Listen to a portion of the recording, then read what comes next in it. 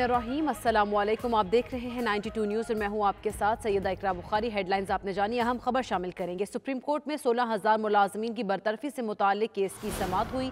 समात के दौरान जस्टिस उमर अता बंदयाल ने रिमार्क्स दिए। हम समझते हैं, अदालती फैसले से बड़े पैमाने पर लोग मुतासर हुए। यकीनी बनाना है सरकारी महकमों और में पीछे दरवाजे से तकर्रियाँ ना हों।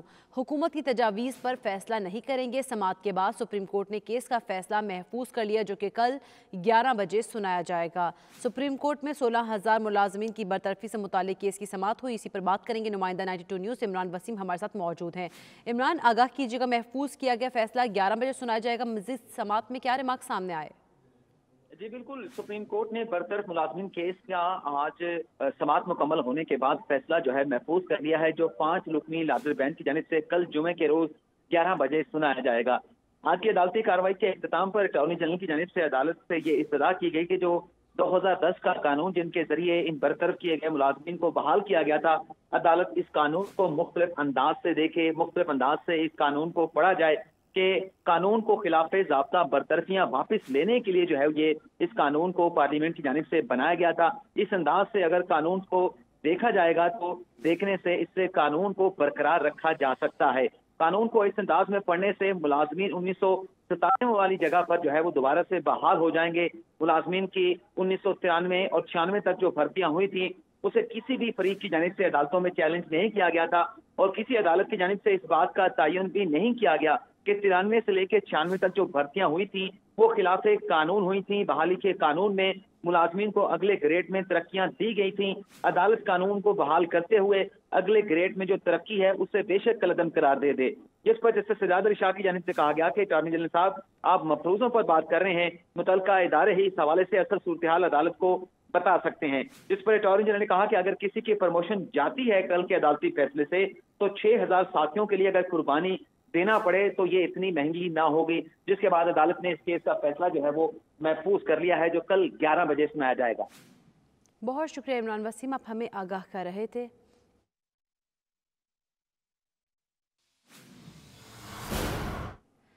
पीपी 206 में जिमनी इलेक्शन के लिए वोटिंग जारी। सर्दी की शिद्दत कम होते ही वोटर्स की बड़ी तादाद वोट डालने के लिए पहुँच गई। पोलिंग स्टेशन भरारवाल 150 पर मौजूद है। हमारे नुमाइंदे एजाज अकबर शाह उनसे मजीद जानते हैं। जी, एजाज, बताइएगा, कैसी गहमा गहमी देख रहे हैं? जी बिल्कुल खानेवाल पीपी 206 में पोलिंग का अमल जो है, वो जारी है। मैं इस वक्त मौजूद हूँ खानेवाल के पोलिंग स्टेशन 150 भेरोवाल पर, जहाँ पर पोलिंग का अमल जारी है। सुबह की नस्बत इस वक्त जो है टर्न आउट में भी इजाफा देखने को मिल रहा है और लोगों ने धूप निकलने के बाद जो है वो पोलिंग के अमल में दिलचस्पी लेना शुरू कर दिया है। इस वक्त मेरे साथ प्रेजिडेंट ऑफिसर मौजूद हैं पोलिंग स्टेशन से। इनसे जानते हैं कि इस हवाले से टर्न आउट के हवाले से इनका क्या कहना है? सुबह की नस्बत, इस वक्त जो है टर्न आउट अच्छा जा रहा है। सुबह चूँकि ठंड थी, मौसम को, मौसम की नदाकत की वजह से लोग कम आए, लेकिन अब जो है मौसम सही होने की वजह से लोग आ रहे हैं माशाला और बड़ा स्मूथली जो है हमारा जो पोलिंग स्टेशन है वो रन हो रहा है, इंशाल्लाह। टर्न आउट जो है वो बेहतर जा रहा है। लोगों की दिलचस्पी देखने को मिल रही है। लाइनों में लोग अपने अपने उम्मीदवार को वोट दे रहे हैं। अगर मैं सिक्योरिटी की बात करूँ तो सिक्योरिटी के इंतहाई सख्त इकदाम किए गए हैं ताकि कोई भी नाखुशगवार वाक़े से निपटा जा सके। और दूसरी जानब जो ये पोलिंग का सिलसिला है, ये शाम पाँच बजे तक जारी रहेगा। जी। बहुत शुक्रिया एजाज, आप हमें भेरोवाल से आगाह कर रहे थे नाजिन कराची के डीएमसी ईस्ट का शफाफ टेंडर्स का ड्रामा फ्लॉप हो गया। ठेकेदारों की बिड में जालसाजी करके हुकूमती ख़जाने को भारी नुकसान पहुँचाए जाने का इंकशाफ हुआ है। ठेकेदारों की नुमाइंदा तंजीमों ने जालसाजी के खिलाफ तहकीकत के लिए दरख्वास्तें जमा करा दी मजीद जानेंगे, फरीद आलम हमारे साथ मौजूद है। फरीद आलम, आगाह कीजिएगा। ड्रामा फ्लॉप हो गया है। जी, बिल्कुल, सोलह तारीख को इन्होंने टेंडर किए थे। साढ़े सात करोड़ रुपए के तरक्याती काम हो गए। जिसमें इन्होंने मीडिया को तलब करके कहा था कि हम शफाफ टेंडर कर रहे हैं, लेकिन टेंडर डालने के चंद घंटों के बाद ही जो टेंडर उसमें से निकलेगा, उसके अंदर इन्होंने रद्दोबदल कर दिया, ठेकेदारों को साथ मुकमुका किया और बाद ठेकेदारों को नवाजने के लिए इनके अकाउंट्स डिपार्टमेंट ने ठेकेदारों की जाने से जो बिड डाली गई थी बिड में रेट डाले गए थे, उनको तब्दील कर दिया। जबकि ये इनकी तरफ़ से दावा किया जा रहा था कि हम बिल्कुल शफाफ टेंडर करें इसके खिलाफ जो है ठेकेदारों ने दरखास्तें जमा करा दी है। ठेकेदारों का कहना है कि हमने जो टेंडर डाले थे इनके अकाउंट डिपार्टमेंट ने कंप्यूटराइज इंजीनियरिंग करके उसमें रेटों में रद्दबदल कर दिया, जिसकी शफाफ तहकीकात की जाए। ये कैसे हो सकता है कि जब ठेकेदारों ने जो रेट दिया, उसको तब्दील कैसे कर दिया गया?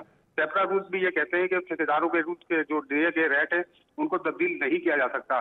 जब ये शोर उठा तो एडमिनिस्ट्रेटर डीएमसी रहमतुल्ला शेख ने कल जो है, ठेकेदारों को अपने पास बुलाया और उनसे पुस्तायुष दावत का एहतमाम किया अपने दफ्तर के अंदर और ठेकेदारों से मुखा करने की कोशिश की। ठेकेदारों से जब हमारी बात हुई तो उनका कहना यह कि साठ साढ़े सात करोड़ रुपए के ठेके ये इससे कबल जो है बीस करोड़ रुपए के ठेके और है जिसमें भी इसी तरह किया गया था टेंडर डलवाते हैं टेंडर डलवाने के बाद जब टेंडर डॉक्यूमेंट खोलने की बारी आती तो उससे पहले जो है महकमा जो इंजीनियरिंग का महकमा रद्दोबदल कर देता उसके अंदर। जी। बहुत शुक्रिया फरीद आलम आप हमें आगाह कर रहे थे। अब आपको बारह रास्त लिए चलते हैं स्कर्दू में जलसा इस वक्त जारी है। जिनको आप पहले सुनते आ रहे हैं। जो मुल्क के जवानों के लिए इंस्पायरेशन है, जो जब बोलते हैं तो सबकी बोलती बंद हो जाती है। उनकी साफ़ गोई से मुखालिफिन खौफ खाने लगते हैं। आप हमेशा सच बोलते हैं और सच का आईना दिखाते हैं। अब मैं गुजारिश करूँगा, जिस घड़ी का इंतज़ार था, हमारे मेहमान, पाकिस्तान की जान, पाकिस्तान की शान।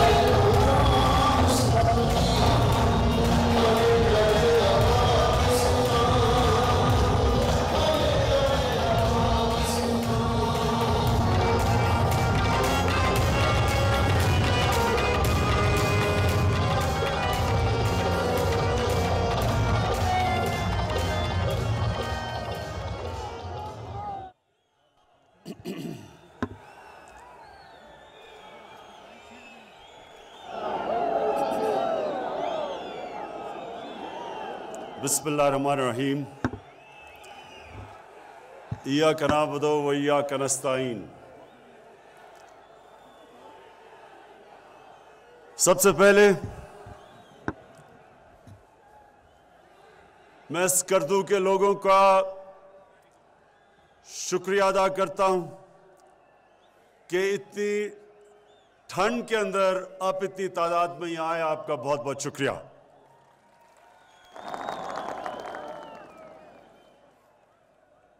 जनाब वज़ीर अला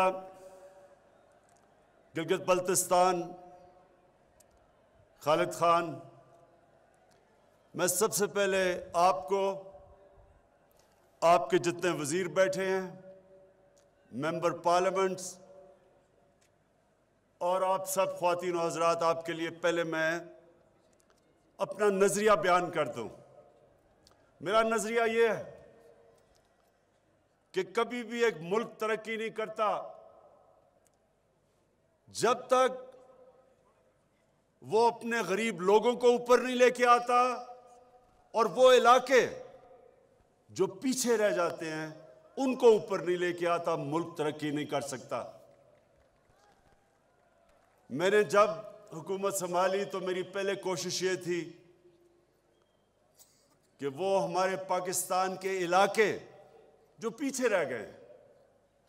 जिसमें ये सारा गिलगित बल्तिस्तान वो इलाका है, क्योंकि दूर है, फासले भी दूर है कनेक्टिविटी नहीं है, सड़कें हर जगह नहीं है, रास्ते मुश्किल है। तो गिलगित बल्तिस्तान में गुर्बत भी ज़्यादा है और पीछे रह गया। फिर बलोचिस्तान है। बलोचिस्तान के लोग भी पीछे रह गए हैं। वहाँ भी बड़े बड़े फासले हैं। वहाँ भी कनेक्शन नहीं है। उधर भी तालीम में भी हम उनके सेहत का भी ध्यान नहीं रख सके और वहाँ गुर्बत भी अब तक कम नहीं कर सके, वो भी पीछे रह गए।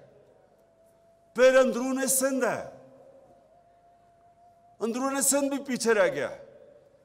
फिर हमारा सारा जो पहले कबाइली इलाका था, जो आज पख्तूनख्वा का हिस्सा बन चुका है, वो भी पीछे रह गया।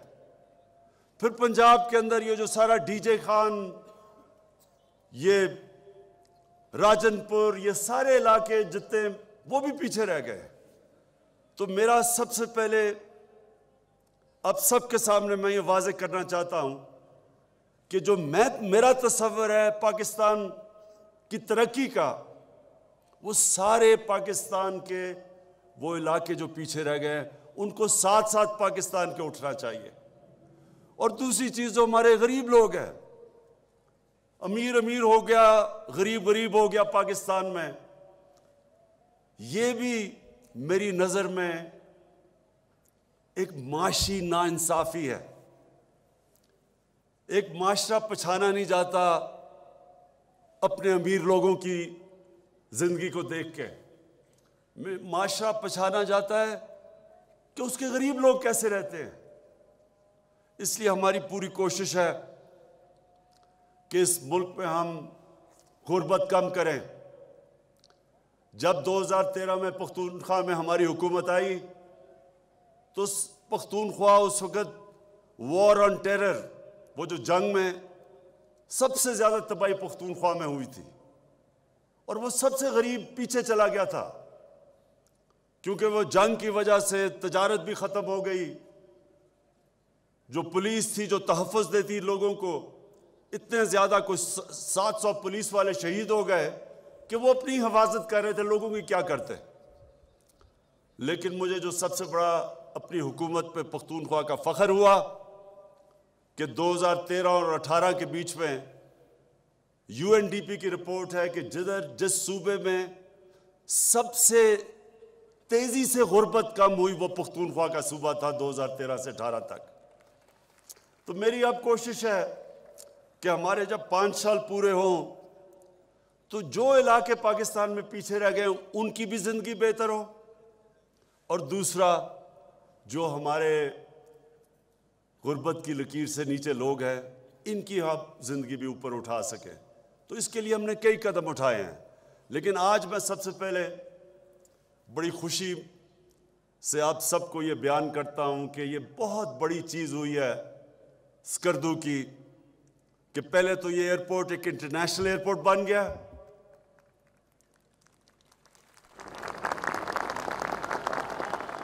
ये स्कर्दू के लोगों, ये आपके लिए मैं कहना चाहता हूँ कि मेरी आज बात याद रखना, वक्त साबित करेगा कि इस स्कर्दू के एयरपोर्ट को इंटरनेशनल एयरपोर्ट बनने से जो आप सबकी जिंदगियों में तब्दीली आने वाली है, वो भी आप तस्वर नहीं कर सकते, मैं कर सकता हूँ।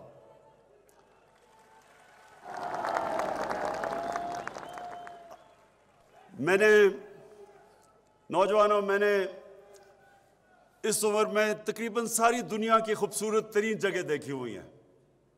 ऑस्ट्रिया, स्विट्ज़रलैंड, अफ्रीका के अंदर सफारी पार्क्स तकरीबन सारी दुनिया देखी हुई है।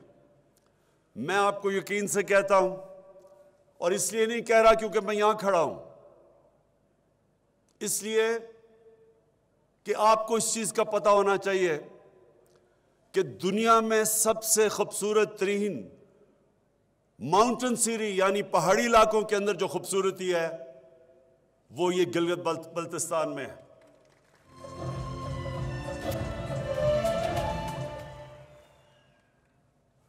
अभी तक अभी तक लोगों को पता नहीं है इसका।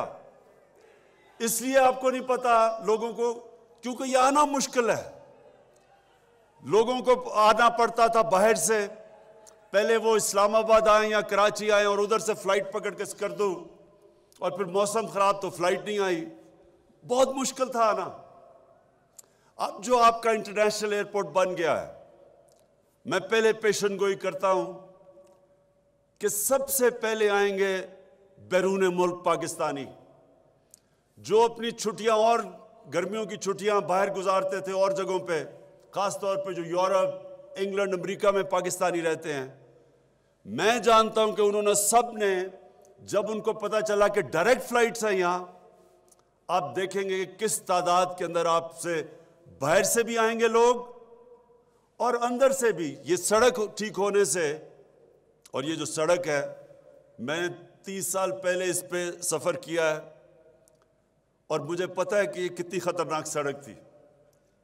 लोग जाने से पहले नाजरीन 16 दिसंबर का दिन सानिया ए पी एस पेशावर के शहदा की याद में मनाया जाता है। इस दिन जालिम दहशत गर्दों ने पाकिस्तान के मुस्तबिल के मेमारों पर हमला किया। इस हमले में ज़ख्मी होने वाले तालब इलम अहमद नवाज़ इलाज की गर्ज से बरतानिया में मकीम हैं। वो एक होनहार तालब इलम हैं जिन्हें अमन के सफ़ीर के नाम से जाना जाता है। बर्मिंगम में 92 न्यूज़ के खसूसी गुफ्तु करते हुए अहमद नवाज़ ने सानिया ए पी एस के हवाले से यादें ताज़ा की। अपने दुख का इजहार किया, आइए देखते हैं। सात साल बिल्कुल गुजर चुके हैं, लेकिन it doesn't feel that long every year has been year of reflection this year the last few years since the attack and every year I think to myself मैं यही सोचता हूँ कि what are the, the things that I can do to make sure that these sort of things never happen again? तो उस हादसे से आगे आकर जो है तो मैंने कई प्रोजेक्ट्स किए कई कैंपेन्स किए मैंने ताकि कोशिश कर सकूँ कि जिन जो नौजवान हैं पाकिस्तानी नौजवान हैं तो उनको एम्पावर कर सकूँ। इसके अलावा जो जितने इंटरनेशनली जो बच्चे हैं तो उनकी वेलफेयर के लिए जो है तो काम कर सकूँ सस्टेनेबल डेवलपमेंट गोल्स पे काम कर सकूँ। जनरली दुनिया को एक बेहतर जगह बनाने की कोशिश कर सकूँ।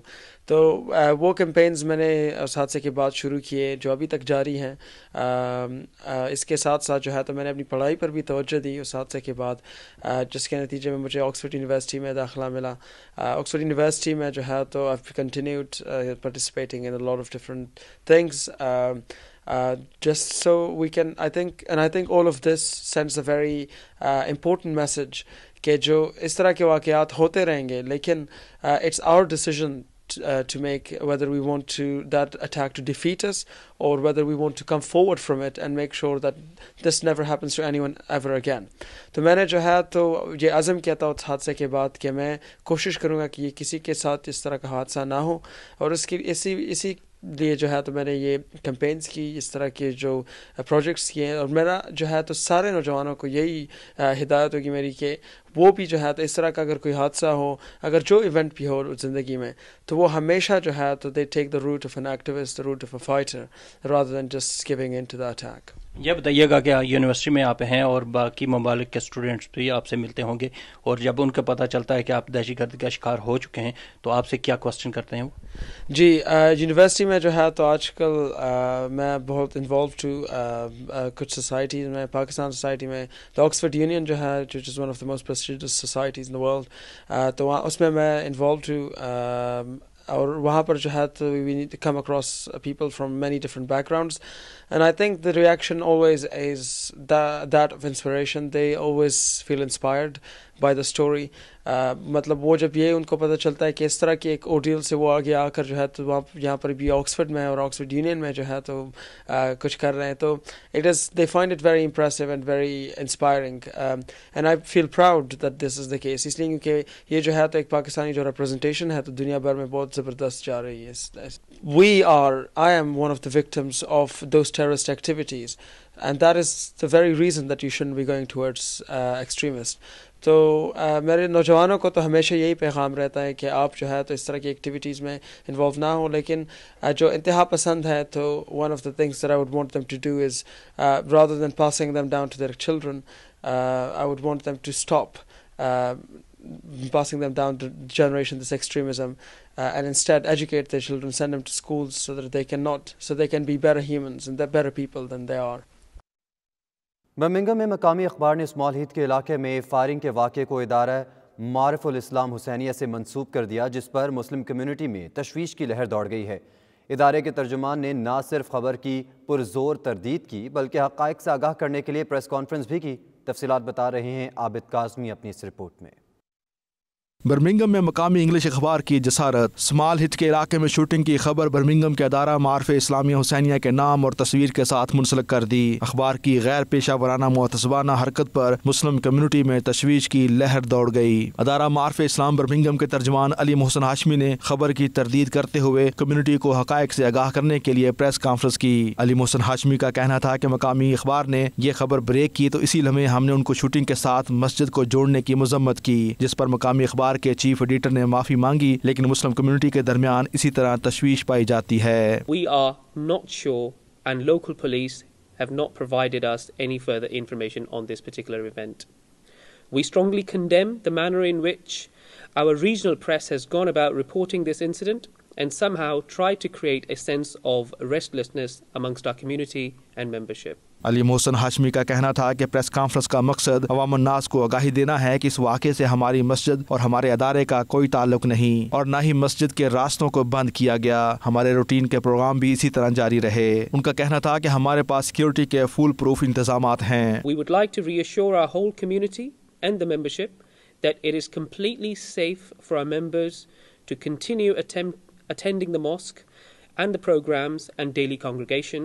whilst additional security measures and additional security officers have been deployed to ensure the safety of our congregations moving forward.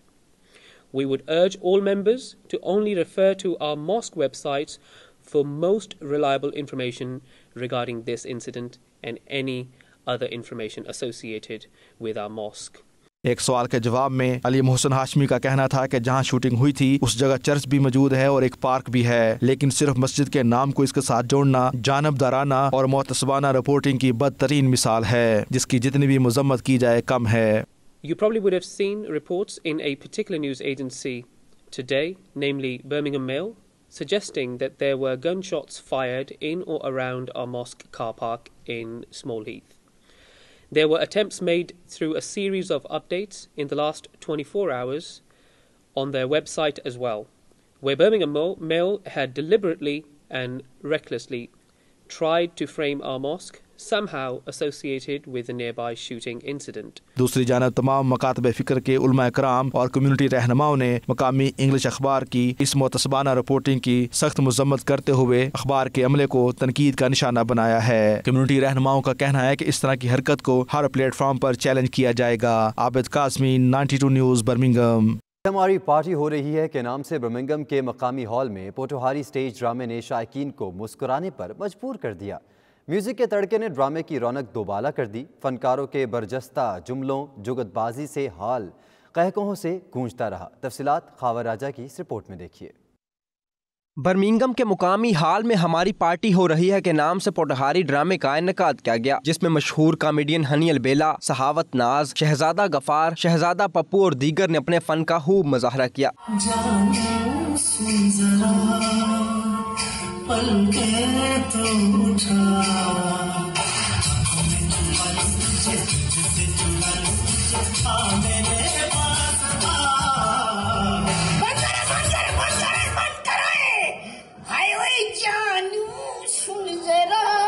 Drama देखने सैकड़ों अफराद हाल में उमड़ आए। खातन की कसीर तादाद भी इवेंट से महसूस होने के लिए हाल में मौजूद थी। फनकारों ने तंजो मज़ाक के एक दूसरे पर खूब तीर बरसाए। पूछना सी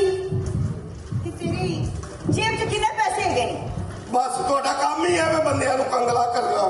ਦੱਸ ਨਾ। ਔਰਤਾਂ ਹੋਣੀਆਂ ਨਹੀਂ ਸਨ ਚਾਹੀਦੀਆਂ ਦੁਨੀਆ ਤੇ। ਵੇ ਜਾਵੇ ਪਰੇ ਹੋ। ਅਗਰ ਦੁਨੀਆ ਦੇ ਵਿੱਚ ਮੈਂ ਤਾਂ ਚਾਹ ਰਹੀ ਮਰਦ ਹੀ ਨਾ ਹੋਵਣ ਸਿਰਫ ਔਰਤਾਂ ਹੀ ਔਰਤਾਂ ਹੋਵਣ ਕੀ ਗੱਲ ਹੈ ਮਰਦਾਂ ਹੋਣੀ ਚਾਹੀਦੀਆਂ ਨੇ ਨਾ। ਐਵੇਂ ਸਪੋਰਟ ਨਾ ਕਰੋ। ਮਰਦ ਮਰਦ ਨਾ ਹੁੰਦੇ ਤੁਸੀਂ ਵੇਲੀਆਂ ਫਿਰਨਾ ਸੀ। ਮਰੋ ਮਰਦਾਂ ਦੀ ਵਜ੍ਹਾ ਤੋਂ ਫੈਸ਼ਨ ਸੁਰਖੀਆਂ।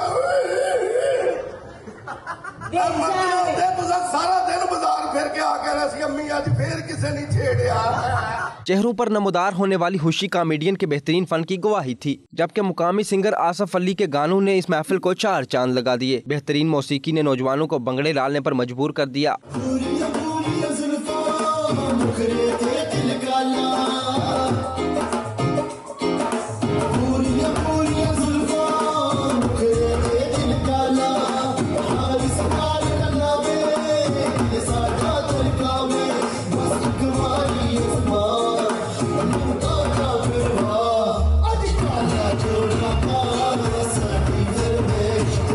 मीडिया से गुफ्तगू करते हुए हनियल बेला का कहना था कि बर्मिंगम में हमारा इंतहाई कामयाब शो रहा और शहरियों ने हमारी तो से बढ़कर रिस्पॉन्स दिया। बर्मिंगम जो है, उसने मेला लूट लिया है और पूरे यूके में इसका तो फैमिलीज़ नहीं आई और बड़ा अच्छा बड़ा खूबसूरत प्ले हुआ और यानी कि हमारी जो एनर्जी होती है ड्रामे की, वो हमें यहाँ से मिली, बड़ा अच्छा लगा। पहले भी यहाँ पे शोज़ बड़े अच्छे होते हैं बर्मिंगम में तो वेल ब्रमिंगम एंड uh, जो फैमिलीज़ आई हैं उनका बहुत बहुत शुक्रिया इस मौका पर बरतानिया के टिकटॉकर्स ने अपने ख्याल का इजहार कुछ यूँ किया हमें यहाँ पे बहुत अच्छा लगा हमने ड्रामा देखा इतना मज़ा आया अमेजिंग आज हम लोग बर्मिंगम में आए हैं यहाँ पे बहुत अच्छा शो था बहुत ही अच्छे एक्ट्रेस आए हुए थे हम लोगों ने हाँ। बहुत इंजॉय किया really uh, Pakistan community here. I come to Turkish in the Birmingham. The Turkish and Kurdish community in the Birmingham. Really, when I see today, I'm so happy. I come here. I just go to. Play the dance it. I play everybody. All friendly.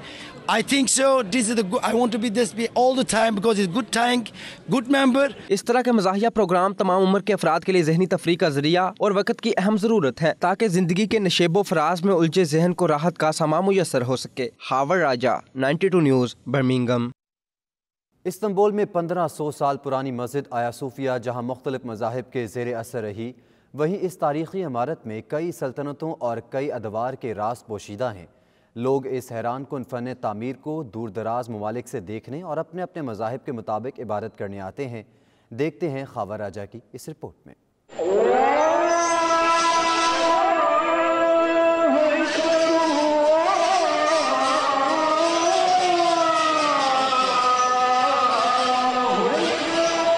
Istanbul, जिसका पुराना नाम कुस्तुनतुनिया था, तुर्की के शहरों में तारीखी हैसियत रखता है। इस शहर में जहाँ मुख्तलिफ़ सल्तनतों ने हुकूमत की, वहीं इस शहर में पुरानी इमारतों को भी मुनफरद मुकाम हासिल है। इन इमारतों में आया सोफिया सर फहरिस्त है। ये इमारत, जिसको पाँच सौ बत्तीस और पाँच सौ सैंतीस में रोमन सल्तनत के बादशाह जस्टिस सोवल ने चर्च के तौर पर ईसाइयों की इबादत के लिए तामीर करवाया, उस वक्त का दुनिया में सबसे बड़ा चर्च माना जाता था, जो की बास्तनतीनी तर्ज तामीर का शानदार शाहकार था। आया सोफिया एक हज़ार साल की तवील मुद्दत तक ईसाइयों की इबादत रही। फिर वक्त ने पलटा खाया और कुस्तुनतुनिया में उस्मानिया सल्तनत का दौर आते ही इसको हज़ार साल बाद मस्जिद में तब्दील कर दिया गया मुसलमान दौर आते ही इस इमारत में कुछ तब्दीलियाँ भी की गई और तामीर को मजीद निखारा गया पचास साल तक इस इमारत में अजाने गूंजती रही और फिर उन्नीस सौ तिरपन में इस कदीम इमारत को म्यूज़ियम का दर्जा दे दिया गया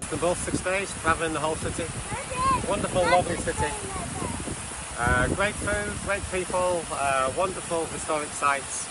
Uh, definitely recommend it here.